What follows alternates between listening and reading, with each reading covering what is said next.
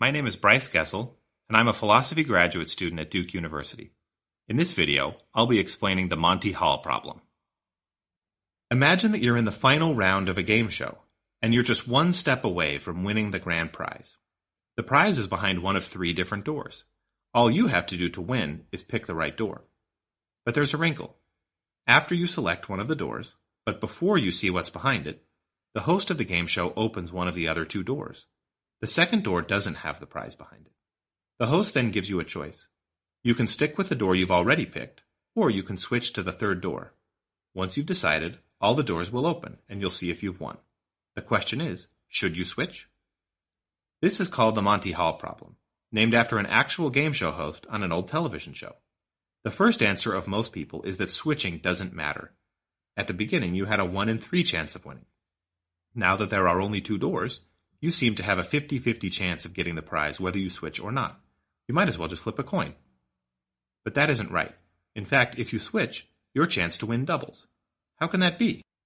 The best way to understand why switching doubles your chance to win is to actually try the switching strategy. Let's name the three doors A, B, and C. For our simulation, we'll say that the prize is behind door A. Now suppose that you're the contestant and you choose door A. The host opens door B to show you that there's nothing behind it. Now you get the choice. Should you switch or stay with door A? We'll go with the switching strategy. Not knowing where the prize is, you choose to switch to door C. Unfortunately, there's nothing behind door C, and you lose. But what if you had chosen one of the other two doors to start? Let's say you choose door B. The host opens door C, and again, there's nothing there.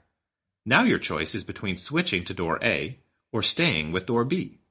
Since we're testing the switching strategy, you choose to switch to A, and you've won. Now suppose you choose door C to begin. The host opens door B, it's empty, and you can choose to switch from door C to door A. Our strategy is to switch, so you choose to switch from door C to door A. Hey, there it is again. You won. But take a moment to think about what we've just seen. If you adopt the switching strategy, the only way you can lose the game is if you choose the door with the prize behind it on the first try. But the odds of choosing the door with the prize behind it on the first try are just 1 out of 3. This means that the odds of winning the game by switching are 2 out of 3. When you switch, your chances of winning double. Even after seeing the explanation, you still might be stumped. After all, when the host has opened the door without the prize, there are only two doors remaining.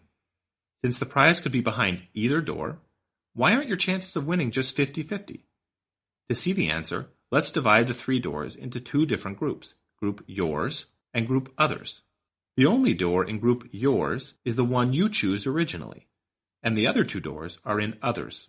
Before any doors are opened, it's easy to see that group yours has a 1 in 3 chance of winning, while group others has a 2 in 3 chance, divided equally between the two doors in that group. But when the host opens the second door, you've learned something. And what you've learned is that the prize isn't behind one of the two doors, in others. So what happens to the 1 in 3 chance that belonged to the open door? It has to go somewhere, because the total chances of winning a prize always have to add to 1.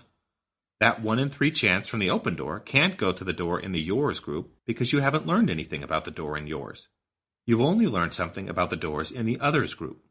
So the entire 1 in 3 chance from the open door gets reassigned to the remaining closed door in others. The chance of winning with the door in the yours group is still only 1 in 3. Even though there are two remaining doors, we can't split the chances evenly, because we have more information about the others group than we do about the yours group. And that's the Monty Hall problem. Hope you enjoyed it.